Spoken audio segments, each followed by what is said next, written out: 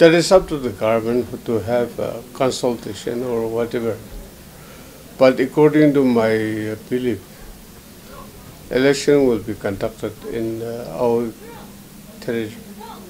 Uh, I don't want to make a comment on that because uh, I'm not a minister, number one, and it's a matter of policy approach. So, policy maker of the state must be uh, uh, applying their mind as to how it should be tackled with. If we look from the other side of the coin, you uh, declaring that you will uh, abstain from participation in the municipal or town council, urban parties election.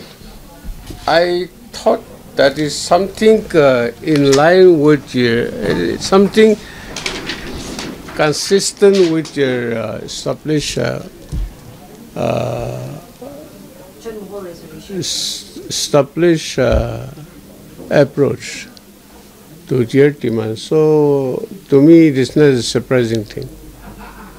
It is somewhat consistent with your uh, demand.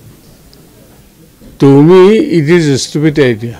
Uh, why, why? You have a church, you have a church, and that is your villager church or your union church.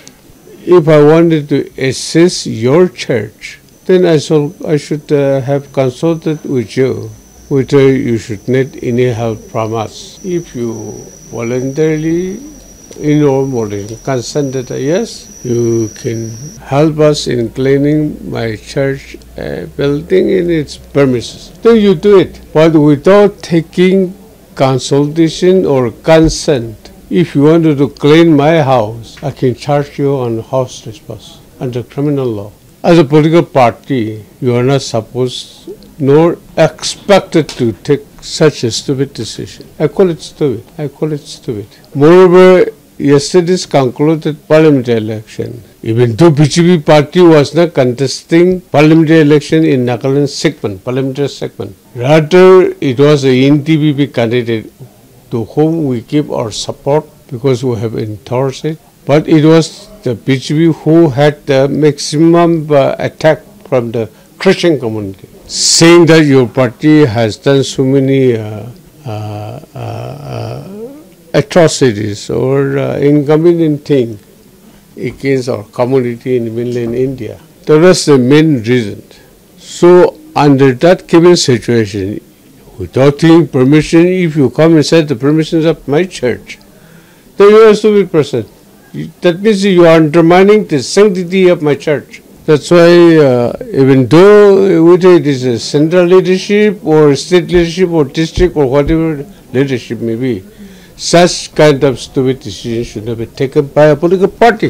That is one. Number two, I should respect your institution, be it good or bad. I should respect because there is an indictee. I'm also an indictee. We have to respect each other. Otherwise, uh, to cohabit together will be very difficult to navigate. So as a political party, you should not be doing such unwarranted. Unless and until I speak out, I have no forum so, over the social media or even in the print media.